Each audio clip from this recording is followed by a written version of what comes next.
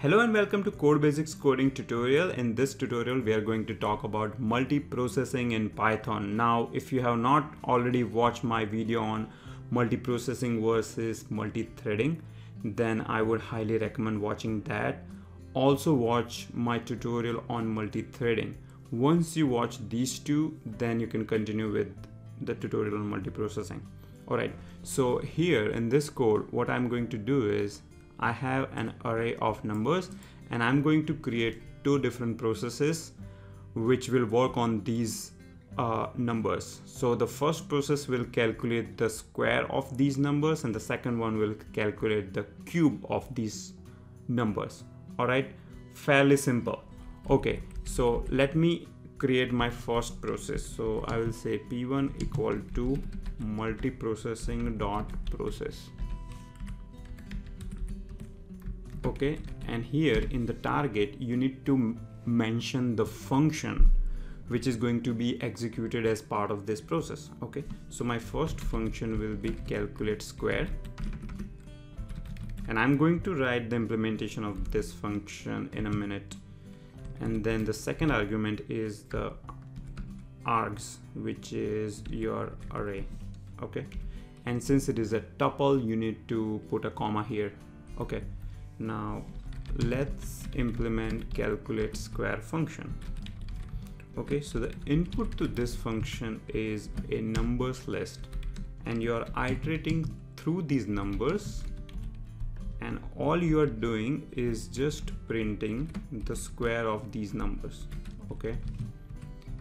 So I'm just printing n star n and I will create another function which will calculate the cube okay so it will be called calculate cube and it will just calculate the cube.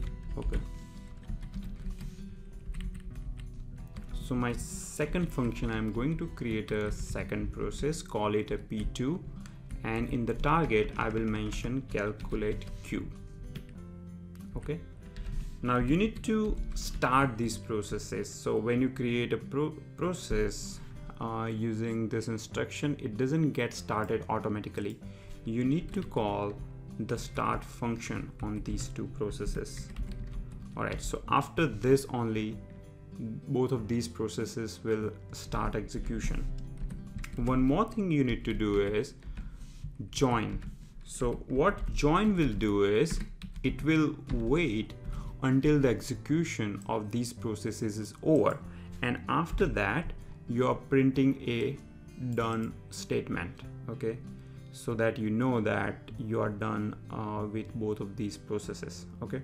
Now if you notice this syntax it's quite similar to multi-threading. So in multi-threading you import a multi-threading module and you create a thread. And even threads have start and join call. So if you are already familiar with uh, threading, multi-threading in Python, then learning multiprocessing will be very easy in terms of uh, syntax, code syntax at least. Okay, so let's execute this program. Excellent. So it printed square and cube of these numbers. All right. Now all of these activity happen under two different processes okay? Now if you want to see these processes into your windows task manager then you need to introduce some delay here so that we can see those processes while they are still executing. So i'm going to just add some delay to make these functions execute a little slower and then we'll open windows task manager. Okay so i just started the execution and you will see this thing being printed here. So while it is printing open the windows task manager go to details tab and search for python. So here you see these three processes one two three. One is for the parent program which is the main program and then there are two processes for p1 and p2 now they went away because the execution is complete when you're doing multi-threading you don't see uh, the processes like this okay so that's the difference Okay, so far so good. Now instead of printing the result, let's store the result in a global variable. Okay, so square result and to keep things simple, I'm going to create only one process. Okay, so let me remove the second process here.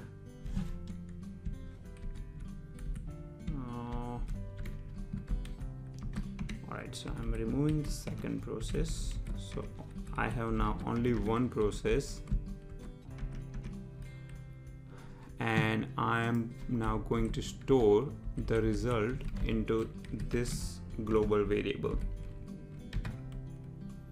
And I'm going to call okay so and and star and okay and I need to define this as a global so that it recognizes that it's a global variable and once this is done I'm going to print the result here.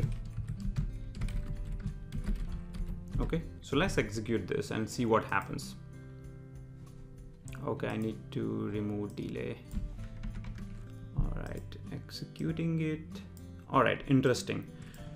So result it says it has no elements into the array now we already see it calculated the square number so why is this blank? Uh, just think for a moment why is it blank? Shouldn't it be uh, all these numbers 4 9 64 81 no it won't be like that because uh, when you create a new process what happens is it will create a new copy of square result uh, global variable. Every process has their own address space. So this process p1 here will copy the global state and create its own address space so that uh, the cop the copy of square result is different and the result doesn't flow back to this global variable basically. So if you print the same thing within a process then it will work. So here I am going to say within a process result so you can see that within a process it has the result. Outside process it doesn't have a result. All right so this is the key difference between multiprocessing and multi-threading. If you were using multi-threading you will see the square result being filled with all the square numbers here okay? So that's the main difference. Okay so in this tutorial we just covered very very basic uh, concepts about multiprocessing. We have a lot more to cover like locks mutex um, interprocess communication methods such as queue and pipe. All of those will be covered in the future tutorial. All right?